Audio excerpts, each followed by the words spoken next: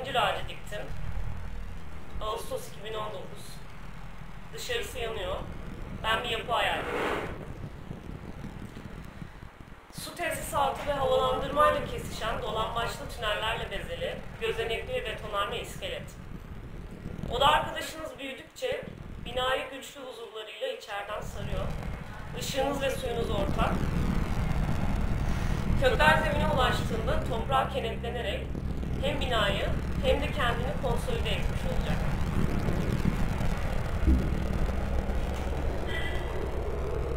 Dalları meraklı komşular gibi pencerelerden sarılacak.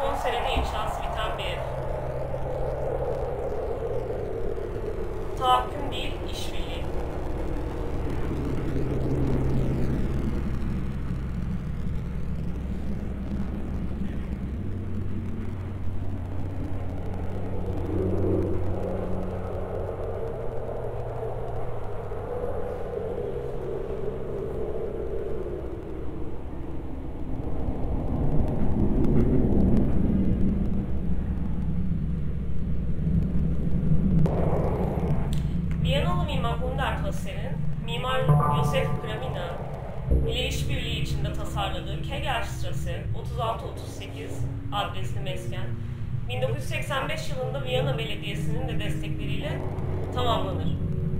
3 ağaç kiracıyı da içeren apartmanın günümüzde sadece bahçesi ziyaretçileri açık. Çünkü dairelerde hayatlarını sürdüren vatandaşlar vardı. Ağaç kiracılar hakkında şöyle diyor Hundert Hassel. Onlar bir evin dış dünyaya armağanlarıdırlar. İnsan büyük bir alanını yasa dışı olarak tahsis ve tahrip ettiği doğaya telafi olarak meskenin bir kısmını vermektedir. Ağaç kiracı bina sakinlerine nefes aldırır, apartmanın havasını temizler, sessiz ve kaprissiz bir komşudur. Şüphesiz Instagram'da da şahane görünür. Bu dipnot benden. Hundert Vasser'in 1985'teki bu demecinde tahsis ve tahrip edilen doğaya sahip çıkmaya çalışan yerli halklar da onların tahsis ve tahribi de hiç olmamışçasına konuşmasının gizemi zaten bu son iki maddede gizlidir. Herhalde bundan daha 21. yüzyıl bir şey olamaz.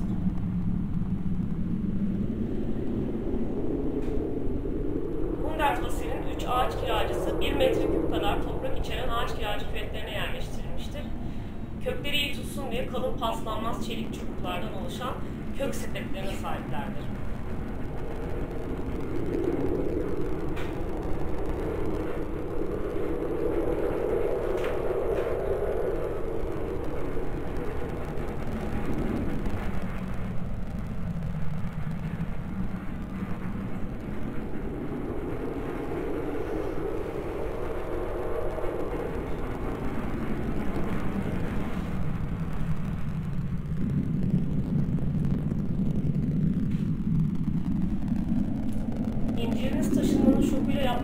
Dökebilir.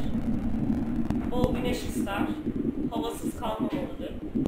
Suyu çok sevdiği için toprak ve hatta betonun altındaki su borularını el yordamıyla mutlaka bulur ve var gücüyle köklerini içine sokuverir. Ayrık otu gibi taş beton demeden her yerden çıkıverir. Teyzeler saçını başını yolar, o yaz sonuna kadar durmadan meyve verir.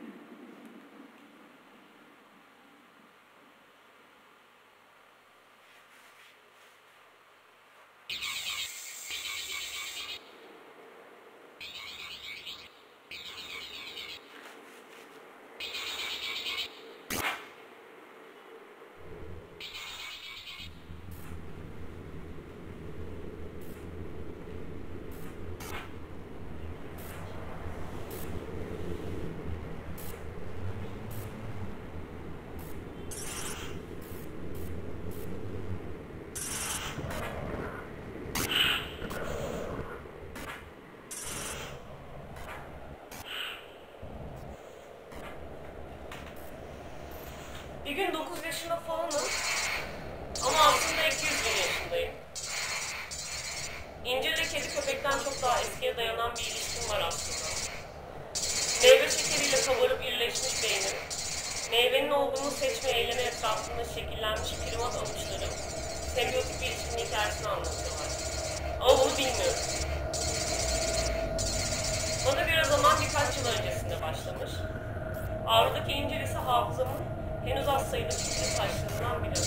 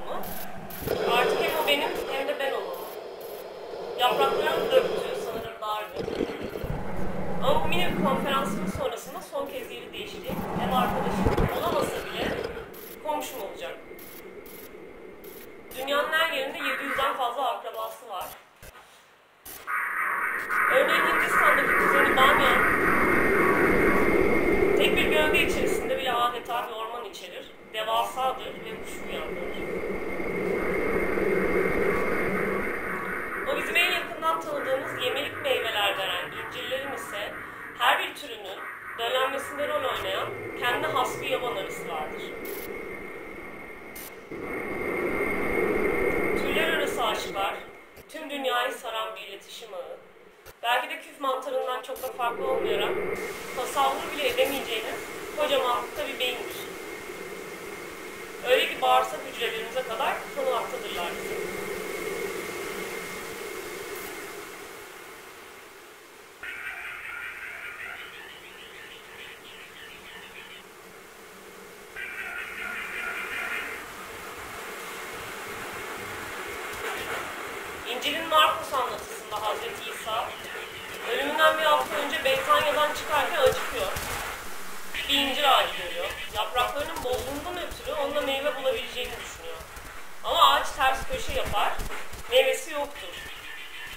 İşte o an incire öyle bir beddua eder ki İsa o an kuruyup gidiyor incir ağacı.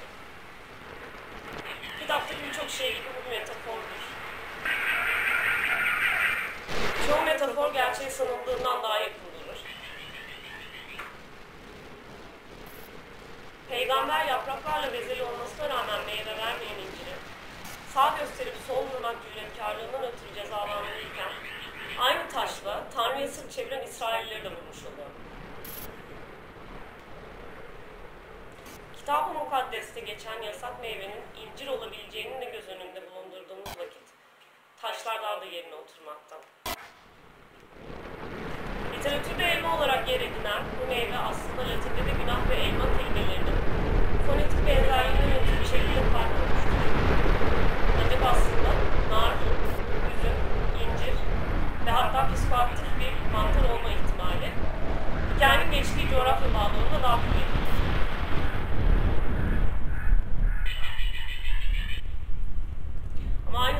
Zamanda denebilir ki incir arsız ve güzeldir. Biliyoruz ki böyle canlılar her zaman yola getirilmelidir.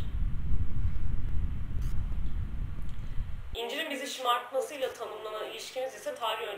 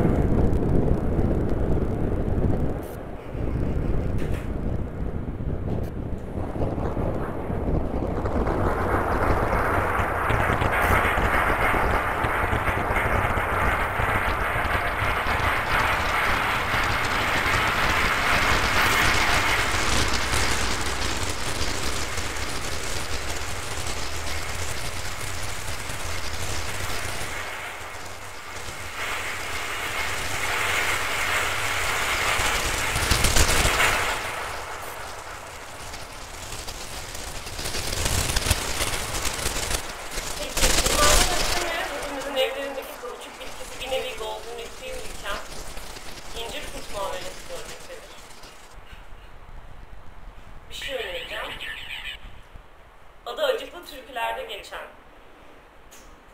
birden fazla arkadaşımın kendi çocukluğundan hatırladığı üzere dallarında üç harflerini yaşadığı, hatta bununla kalmayıp altında düğün ve eğlence yaptıkları için insanın gece altından geçmemesi gereken ve altına eşeliği takdirde mutlaka çarpılacağı bir ağaç olma algısından ziyade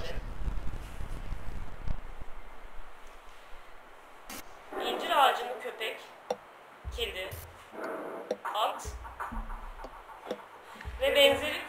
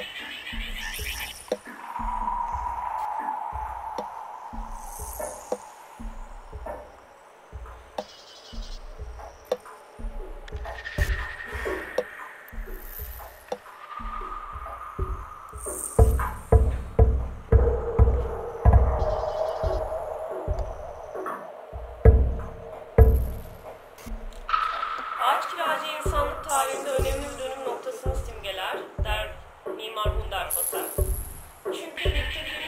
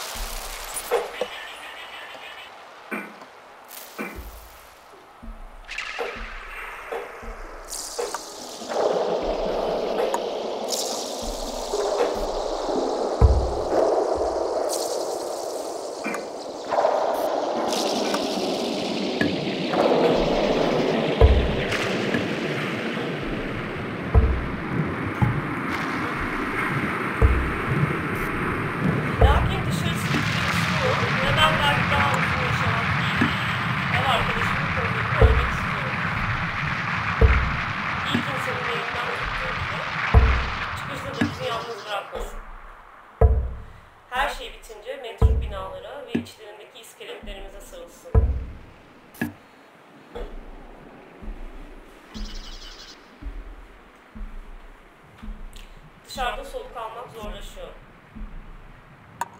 Sıcak hava primat ciğerlerini yakıyor.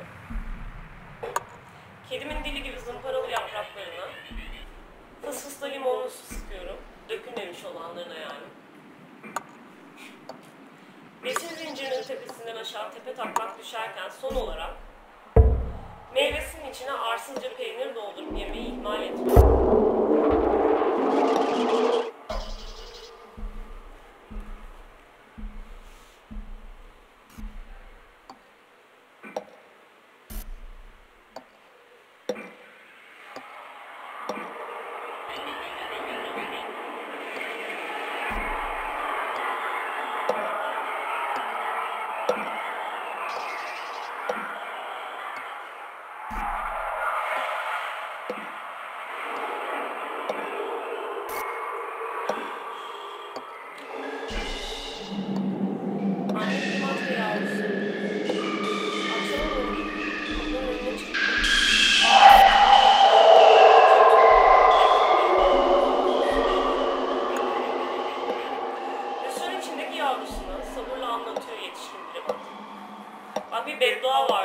Meşhur. Ocağına incir ağacı dikmek diye. İncirin kökleri o kadar güçlüdür ki evlerin yakınına dikilmez. Çünkü duvarları delebilir. Evleri parçalayıp yıkabilir. Yavru primat, incirin evin duvarına yakınlığını